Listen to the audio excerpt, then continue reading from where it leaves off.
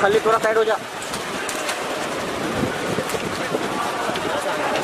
खाली भाई थोड़ा साइड रखो चलो ये इधर इधर इधर प्लीज़ अभी साइड